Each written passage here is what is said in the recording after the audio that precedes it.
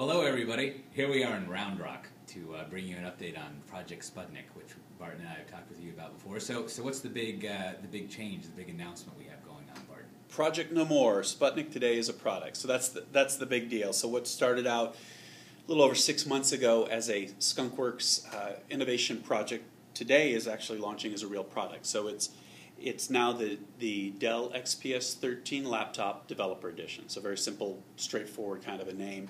And what you get is you get Ubuntu preloaded on top of the XPS 13. You get the basic drivers and some utilities that developers would want, uh, as well as access to two open source projects that are supporting this. One being the profile tool, the other one being the, the cloud launcher.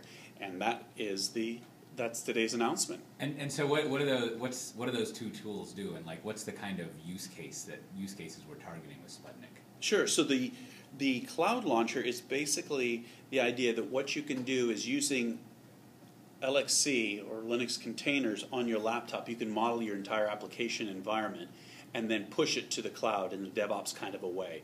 So taking basically what you'd have up on your on your whiteboard and, and recreating it here, uh, your topology, and then and then pushing that as the final production um, environment to the cloud, and then being able to expand from there. Um, and today that's that's accomplished through Juju and through, as I said, LXC. Um, but going forward, we're also going to be opening up as a as open source project, uh, so people can take it and expand on it and, and go from there.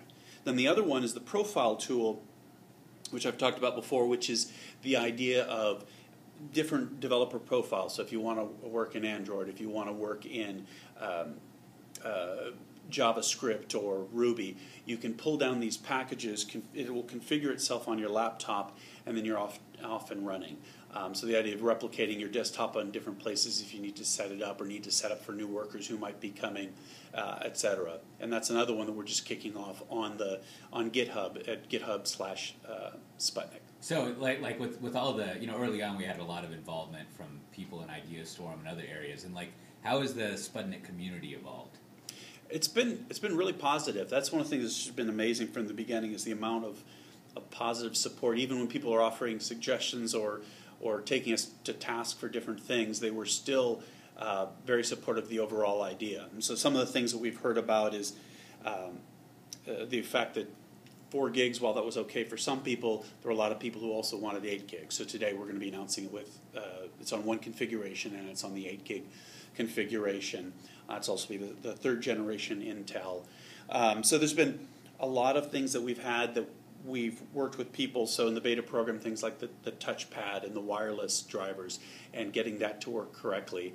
And those are some of the areas that we've been we've been working with in the use cases. And the same thing with the with the profile tool and the, and the cloud tool, getting input on that.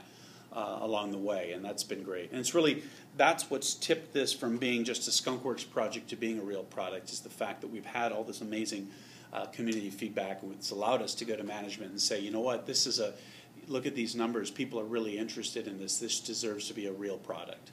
And and so uh, like like what do you like now that we've got a, a, product out the door? What do you think we'll be focusing on next? What, what should we tell people that we're working on in, in the labs now, so to speak? Sure. Well, before we get to the labs, there's still other ways that we can go. And, and one of the things is today's announcement is this is available in the states, um, and then also in Canada, just in the large enterprise market. Um, but in the states, it's large enterprise as well as consumer and small office. So the next way we would look to expand this is is to expand this and make it available outside the United States, so uh, around the world. And so that's the next thing.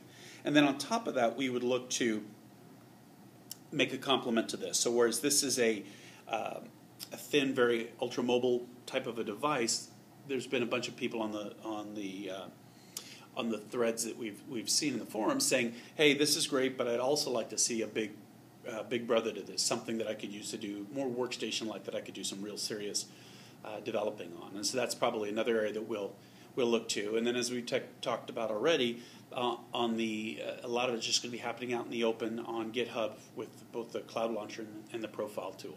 And so, where can people go to uh, get one of these, or find out more, or start getting involved? Yeah. So the the URL for this would be uh, Dell.com/slash Sputnik or Dell.com/slash Developer, and both of those will take you to the same page, which will have links to, to actually go ahead and, and purchase this. And as of today, it's it's ready to roll. All right. Well, do you have anything else you want to tack on there?